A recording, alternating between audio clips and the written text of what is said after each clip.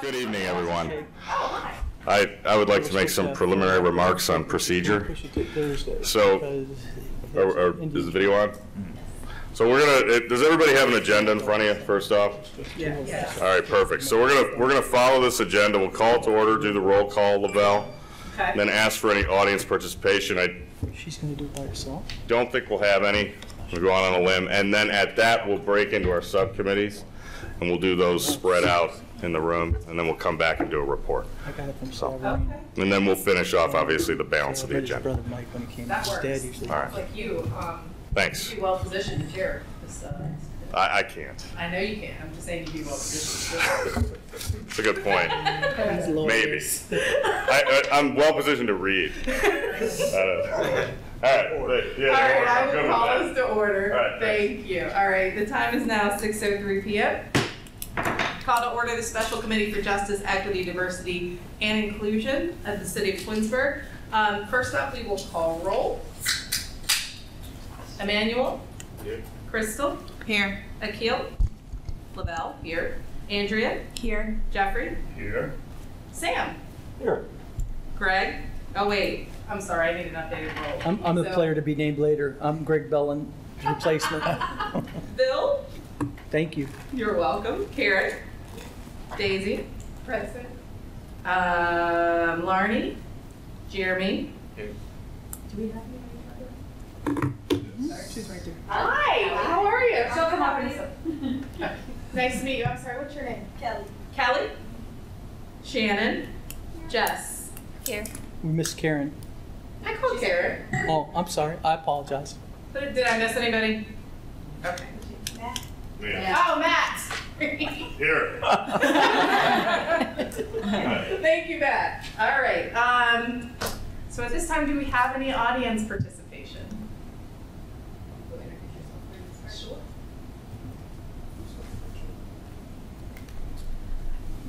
Hi, I'm Kelly Perez. I'm the new HR director for the city of Twinsburg. I started about two, a little over two months ago. Um, I've been in human resources my entire career. Um, I started in the private sector. Um, I was a consultant, uh, and then I worked for a uh, manufacturing company for two years as an HR strategic partner. And I am happy to be here with the city of Twinsburg. This is my first time in the public sector. I've been learning a ton, and I'm looking forward to uh, working with everybody and learning more. Thank you and welcome. Thank you, Jason. Matt, please. Are you involved? Yeah. Are you, are you what the status of our police You can introduce yourself.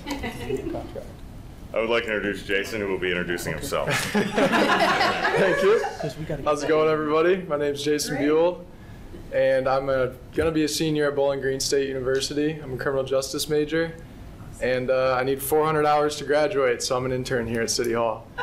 And I'm very interested to see what you guys do, so nice to meet you guys. Fantastic, nice to meet you, Jason, welcome. Good job. Any other audience participation? Okay, hearing none, um, at this time, we will proceed to our subcommittee breakout sessions. Um, my understanding is that originally the first hour is going to be dedicated to that, so we will plan to reconvene at seven P M. And then we will, does that work? Okay. Um, and then we will move back into our larger group sessions. So at this time, oh, yes. if we don't need till seven, because we're just reviewing it, can we reconvene a little earlier? Good point, yes. We are not married to seven PM in the event that we do, uh, that we are prepared to, to come back together before then. We'll do that. Very good call. Thanks, everybody. I can talk. We're reconvening. Um, the Special Committee for Justice, Equity, Diversity, and Inclusion, and we're going to, having concluded the subcommittee breakout sessions, um, jump back into the agenda at item five, which will be our subcommittee reports. So I'll go in order of the breakout sessions, and I'll ask uh, Mr. Titus, if you don't mind, starting us off with the Justice and Police Relations. So Justice and Police Relations, um, sorry we took so long, by the way, everyone, but we're about business and justice and police relations. But anyway, um, we discussed some things, we sort of picked up where we left off the last time we met, we highlighted a few things that our wish list of activities that we might want to pursue. Um, We also addressed the list that myself, Officer Zeller, and um, Matt Pizzana um, created during our last meeting with the consultants, um, where we came up with objectives and action steps and things of that nature. It turns out that many of the action steps that we came up with were also mentioned at the meeting with the consultants last week. So uh, I think we're on the right track of things that we would like to see get done. An example, I won't go through all of them, but an example would be having an um, open forum or or a um, police and fire open house. All right, those are those are actually two separate. Keeping in mind that you know the city does an open house right now, but this particular open house that we would do would be primarily for our historically or sys- systemically underrepresented or underserved residents to come in and interact with um, our police and fire.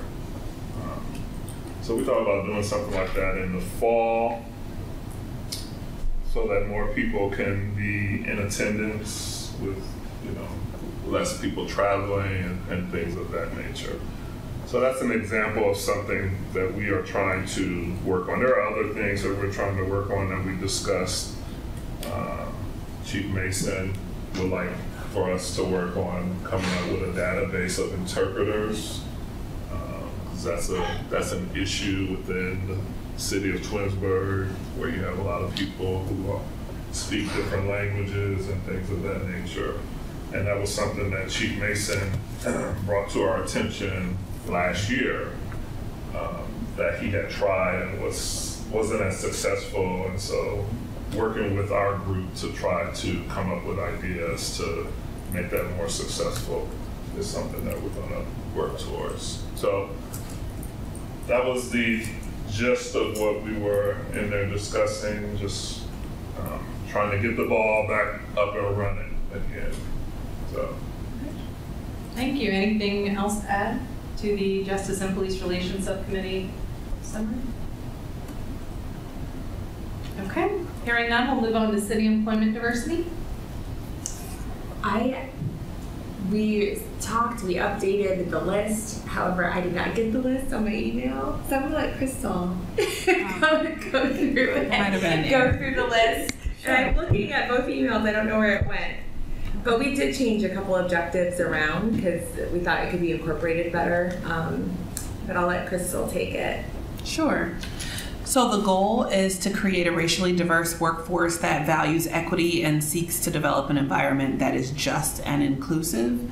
And um, the first objective is around recruitment, focusing on where and how the city recruits minority staff, um, with a focus on targeting seasonal positions and internships and the Explorers program, um, reviewing current, the current ma- racial makeup of city employees and setting a strategic goal to increase the number of uh, minority full-time salaried employees within the next three to five years. Um, we also talked about examining city policies and protocols to determine to identify areas for potential changes and focusing on where and how the city recruits diverse vendors. Um, the second objective is around retention, examining opportunities to support and promote racially diverse staff, to explore training and professional development opportunities. Um, and then also the second one, examining city policies and protocols about regarding atten- retention to identify areas for potential changes. And then the third and final um, objective is around organizational climate, culture, and commitment. Um, the city of Twinsburg um, should explore hiring a consultant to survey staff to gauge um, organizational culture and make recommendations related to changes that could improve the city workforce climate. We don't anticipate that this would start until after the implementation of a lot of the new practices and policies and protocols that we've outlined in um, the the document here. And then the second is um, really the HR director and mayor reviewing recommendations for adoption from the consultant. So, um, organizational leaders committing to annual trainings on um, unconscious bias and REI, racial equity and inclusivity training annually. That's it. Thank you. Excellent. All right, um, anything else to add to the city employment diversity report? Hearing none, moving on to community outreach. All right, so we basically focused on looking at the original document that we created during our last meeting and comparing it to the edits that were requested um, by the Dr. Taylor and Liz um, through email. And so we made some changes, and I'm going to go over some of those changes that we made to our document um, prior to us discussing this with you before. Um, so mainly, we looked at timelines, trying to have concise timelines based on when this plan is going to actually take take place. So we're looking at probably November, October is our um, idea of maybe when this will um, be implemented, and then everything else is going to be based on you know when the initial things. So we're looking at um, first in creating a website or some sort of landing page is really what we want to focus on, so that we can direct the citizens somewhere so they can look at what we're doing, uh, what we're focusing on, what our next steps are, things like that. So we really have somewhere for them to go. Um, we also want to look at uh, our objective two is creating programming and events that are representative of the city's diverse population. So the Dr. Taylor and Liz would like us to flesh out that description and just expound on it a little bit more. So I'm going to read what we created for that. Initially, we just had create educational opportunities and create relationship building opportunities, but we wanted to go a little bit more in depth. So, for create educational opportunities that bring awareness to topics such as the cultural diversity that Twinsburg's diverse population has brought to the city. For example, this could take the form of showcasing educational Diwali mini videos on the Jedi website, or partnering with the Senior Center to create a book display featuring Black authors during Black History Month. Would be some ex- examples. Um, two, create relationship building opportunities within the community that allow people from various walks of life to interact and discuss shared interests, such as partnering with the Police and Justice Committee to initiate a food festival. So, those are some of the ways that we kind of just broadened our initial description. Um, uh, we were also talking about creating like the QR code to, to, attach to something printed so that when council members walk their wards, they actually have something that they can leave with their constituents so that they have something they can focus on and, and draw their attention back to it. Um, so they have, uh, and talking points for the Jedi overall. Fantastic. Anything to add to the community outreach report? All right, hearing none, um, we've got a lot of exciting stuff coming up this year. Um, so we'll move on to the next item, which is the full committee report.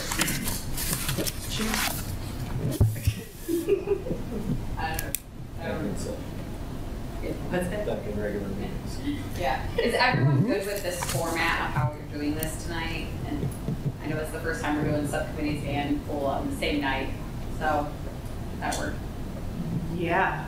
It's a lot easier to work into the schedule. Okay. Yeah, I agree. Um, so in terms of the full committee, well, you know what, I'll bring it up under new business. All right, uh, moving on to the next agenda item. Do we have any unfinished business? Um, obviously, the, the work that we're doing with the consultant, I think, kind of falls under there, but other than that work, do we have any additional unfinished? business? So can I ask a question regarding it? So where do we stand on that? All the data's been sent to- to her, and we're waiting for a final report to come back? Is, is that how I understand this?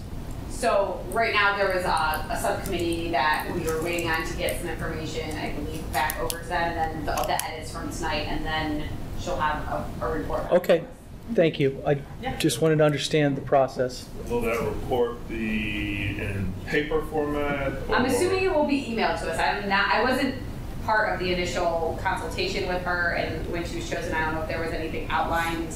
Just, do you remember if there was like a specific, I thought there was gonna be something, but I don't know if it was paper. A final report overall of basically consolidating this, but I think the next step after she gets everything from us, based on reading her emails, um, I thought that she was going to then send us a finalized copy, but then she would like us all to review each other's plans, give feedback um, written through via email, and then she would take those into account and then create something that is final. But Thank you. But she's not gonna come back and present her final, No, I think all of her in-person uh, requirements have been met at this point.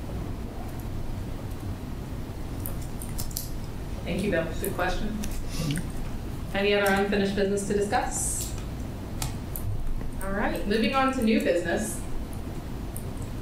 I would like to raise that the structure of this committee remains unchanged from our initial appointments of a year and a half ago. So, um, in that spirit, would we like to open up the floor for the election of officers? Is there anyone who is not serving as an officer who would like to? Is there anyone who would like to move around their subcommittee position? Or are there any officers who would like to no longer be in charge? Are there any officers who would no longer like to be in charge? Excuse me how this works. Oh, look, I, I don't mind a seat, but I also, you know, you'll hear me preach about term limits. Um, so if there's somebody who would like to sit in this chair, by all means, do not let me hold it hostage. I'm happy to continue to facilitate meetings and, and to help us move the mission forward. So what, what possibly we could consider, or you could consider, is put election of officers on the next agenda. Then a month later, you'll have a month to think about it. You make uh, nominations, and that way, Shannon's laughing because I did.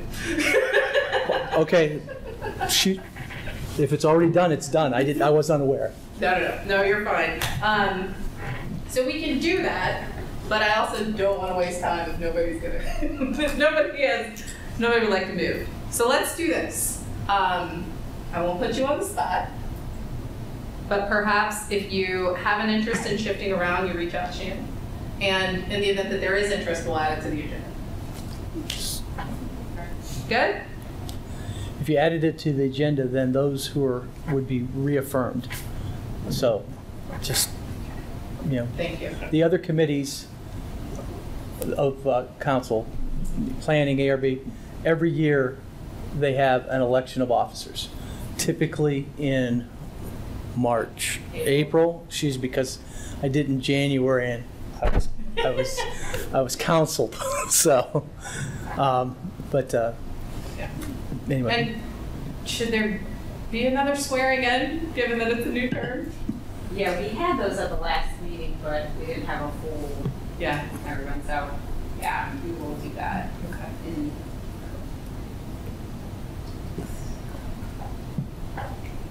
Any other new business?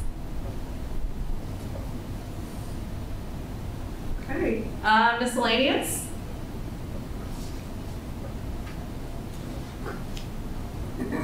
All right, hearing none. Next item is the announcement of our next full committee meeting, which will be Monday, September 12th at 6 o'clock PM. And Shannon, are we doing the same structure? We're gonna do that moving If forward? that's working with everybody, then yeah, we'll keep that. Okay, excellent. So 6 PM, we'll do subcommittee meetings. Well, maybe 6:05 based upon the time we got started tonight. Um, And then we'll move into the full body meeting after. Okay, all right. quick question Sure. for Shannon, maybe. So we are, we are supposed to get paid for these meetings or something like that? So- Is there something for us to sign or? So you got emailed a packet of paper, um, paperwork to fill out. Um, Today? no, this No, it was a was back ago. in April? April. Mine's dated Yeah. April. Did I feel? Yeah. So. You might be up to fifty dollars. Well, yeah, so from council, uh, voted, um, I don't have the exact date in my head, but they voted to change and Couple months ago. effective for this, uh, for the second quarter, so April, May, and June, so. So if you've not done your paperwork, we should get that to Yes. Shannon ASAP. You need the paperwork to get paid because they need social security numbers, just like you're applying for a job, like the first week of work. Yeah, Um, So- The salary ordinance was amended, I believe, in March, which added the Jedi Committee to that list. Yeah. Okay, so it's all documented there. It's just a matter of getting paperwork in and, so on that note, if anybody is a public servant in another community or has any type of retirement from a public entity, um, please talk to me separately because there could be some questions or variable things with that, so. That would probably affect you, so let you. You vote first? Yeah, I'm, uh, STRS. So it, I think that will, it's still state funded, so we'll, we can talk. Okay. All right. Any other questions? Then I have seven thirteen. We are adjourned.